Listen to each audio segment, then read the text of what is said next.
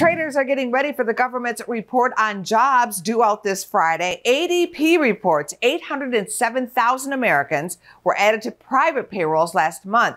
That was well above expectations of 375,000. Let's bring in Joe Tigay of Equity Armor Investments. Joe, what's your prediction for the stock market with all the jobs news coming in this week? Yeah, and as we get to that number and the data coming into it, you know, we had data on Wednesday that was crucial. Data will be coming out today, which will be important, and it'll all be keying on what the what are the expectations on the Fed to do. So far this year, we've actually seen a, sizable increase in the 10-year uh, rate. We're all, all up to 165 or higher, so that's a 10% increase to start the year. And I'm watching that 170 level. If we break that, that's been an area of resistance before. If we break that, that could be a sign that we'll get even higher higher rates, uh, which of course uh, could have implications for the whole market. Are you overall bullish or bearish on the stock market for 2022? Yeah, so far I'm overall bullish. Uh, it's interesting to start the year. We get this rise in rates. Of course, that's been really good for banks, but it's been interesting to see a consumer discretionary do quite well. That's telling me that these companies are able to weather the inflation we've seen so far.